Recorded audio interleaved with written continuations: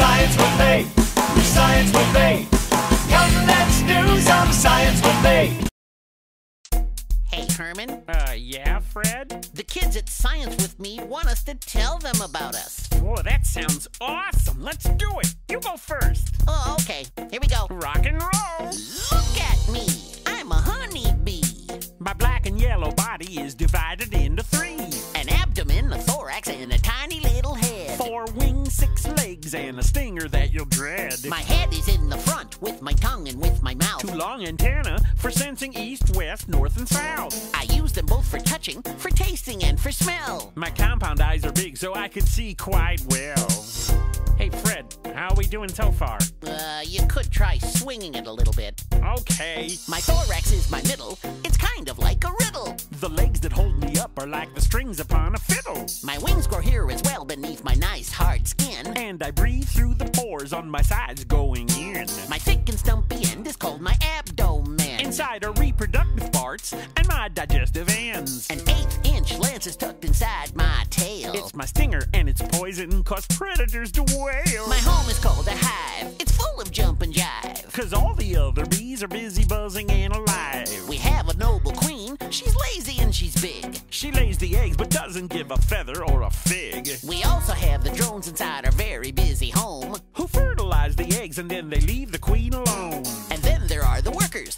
girls who love to fly. They bring pollen back and nectar too to feed the little guys. The eggs then hatch into a fairly big brood. Of worm-like larvae who try to snatch the food. They'll eat and eat and grow and grow and soon the pupas form. And metamorphose into brand new worker bees within our swarm. We make our own beeswax. That's how our hive is thatched. Our six-sided walls into sheets are carefully patched. We use them to store honey.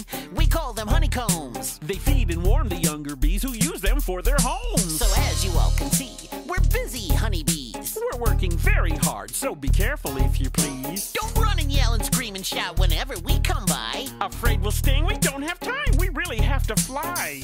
Uh, Herman, do you think we ought to tell them? Of course, they'll thank us in the end, but you start. Unless you pose a threat. In that case, you can bet. Our worker bees will sting you so you never will forget. They've got barbed stingers. They'll stay inside your skin. So if you try to squeeze them out, more poison will go in. Just watch as we devour the nectar of a flower. And brush away the pollen, which is sticky yellow powder. While we're flying around to and from our honeycomb, We'll help your flowers grow and make you honey for your own. we hope that you can see these busy honeybees are more than happy to help you do some science with me.